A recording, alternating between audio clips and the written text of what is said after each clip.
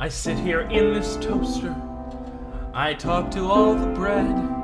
I listen to their stories and keep them in my head. They visit every morning. They come to me in droves from many different backgrounds and many types of loaves. Now everybody knows that bread is baked and then it rises. But there's a little something that nobody realizes. Loaves have many lives, are baked in ovens, sliced with knives.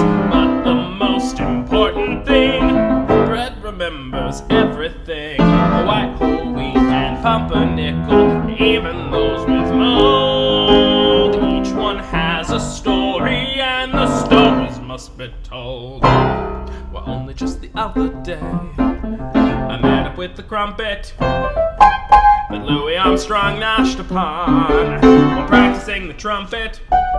I knew a slice of sourdough, a sort romantic, part of Lucky Lindy's lunch over the Atlantic. Ha! All the loaves have many lives, baked in ovens, sliced with knives. But the most important thing, a bread remembers everything. A white and pumpernickel, even those with mold. Each one has a story, and their stories must be told. Each